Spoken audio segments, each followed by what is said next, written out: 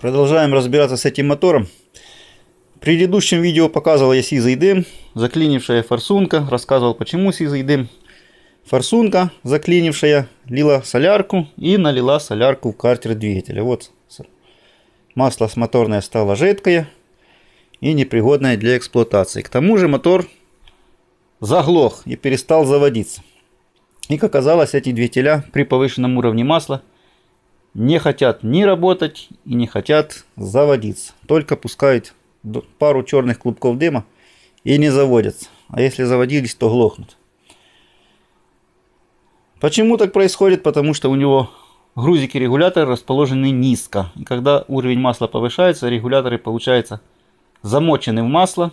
Масло их достает и регулятор перестает работать. Таким образом, эти двигателя при повышенном уровне масла не работают и не запускаются. К тому же, если даже нормальный мотор сильно наклонить назад, он тоже заглохнет, потому что масло сбежит в сторону регулятора, замочит регулятор и мотор заглохнет. Вот такая вот особенность. Так, скрутила пробочку, мотор завелся, все лишнее масло сбежало, все хорошо, но масло надо поменять, потому что оно с соляркой. Работать на таком масле Нельзя, конечно. Выкручу маслозаливную пробочку, он же щуп. Выкручу маслосливную пробочку и солью это чудненькое, уже негодное масло. Значит, видео, где было 7 провокативных вопросов по этому двигателю, был вопрос под номером 1. Почему у этого двигателя две маслозаливные пробки и две маслосливные? Ну, надо сказать, что все ответили очень правильно. Действительно, потому что этот двигатель универсален. Ставится на разные агрегаты, в том числе на генераторы, на компрессоры, на водокачки. И этот двигатель может стоять где-нибудь под стеночкой. И доступ с одной стороны может труднен. Поэтому для него делают две заливные пробочки, две сливные пробочки с каждой стороны. С какой стороны не подойдешь, доступ есть. Вот простой ответ был на этот вопрос. Для универсальности. Двигатель я промывать соляркой не буду в этот раз, потому что там уже столько этой солярки в масле, что промывать не надо. Ну что, попробуем открутить масляный фильтрик. Здесь он вот находится под черной такой красивой пробочкой. Болтик на 10 откручиваем ключиком. Чудесненький, красивенький, блестященький и будем вытягивать масляный фильтр. Если бы это было просто, было бы все чудесно. Но это оказалось не так-то оно и просто.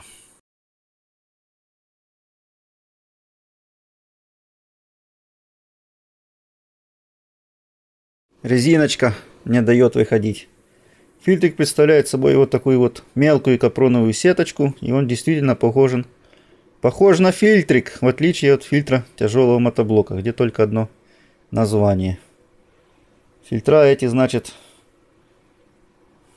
рекомендует производитель чистить раз в 500 моточасов или раз в 6 месяцев, а менять их раз в 1000 моточасов или один раз в год по требованию инструкций. Но это как раз, по-моему, тот случай, когда инструкцию читать не надо, потому что Раз в 500 моточасов чистить этот фильтра это слишком. Вот стружка какая-то или песок скапливается. Поэтому лучше эти фильтрики чистить при каждой смене масла, каждые 100 моточасов, невзирая на инструкции. Ну а насчет замены 1000 часов, может они и правы, может капроновая сеточка износится за это время. Но как по мне, то этот фильтр, можно сказать, что почти вечен. Но инструкция требует менять.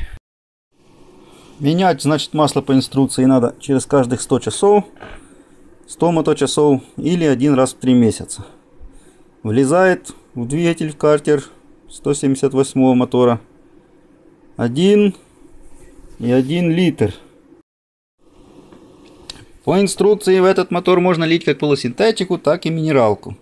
Значит, если температура на улице минус 20, значит лить полусинтетику 10В40 или 10В30. Если на улице минус 10 градусов, значит можно лить 20 В40 или 20 В30. Масло по классификации API можно лить CC или CD. Но такие классификации масел уже с 2002 года отменены. И таких масел, в принципе, производители уже делать просто не должны. Так что, какое бы масло самое лоховское в магазине вы не взяли, оно должно к этому мотору подходить. Но масло рекомендую брать все же хорошие. То есть от хорошего производителя, надежного.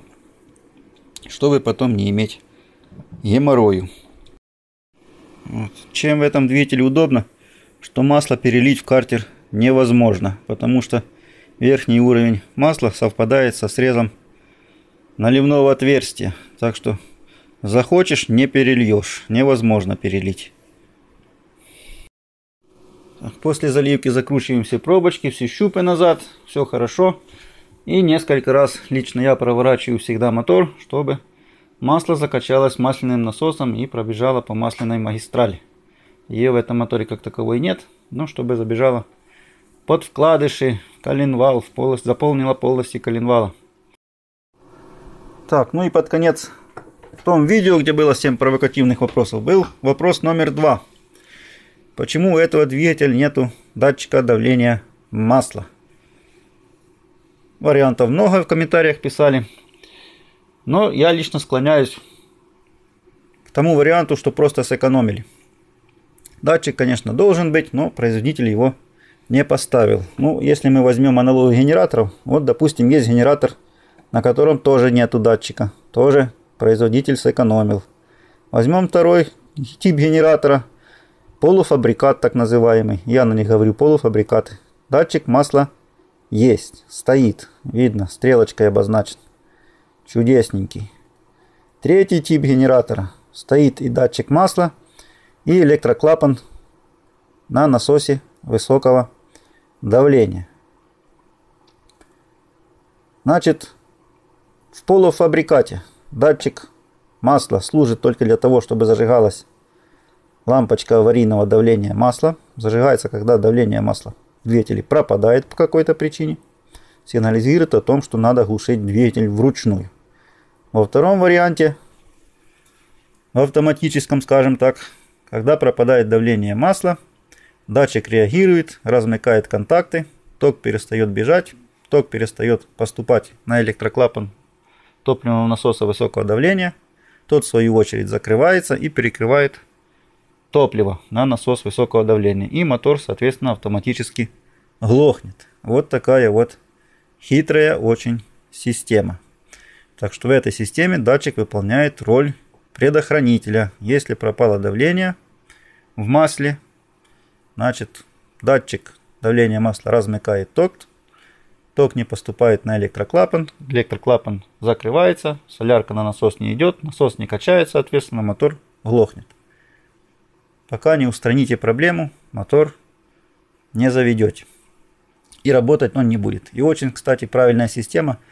На некоторых мотоблоках, смотрел в магазинах, эта система есть. На некоторых мотоблоках и чаще всего поголовно ее просто нет.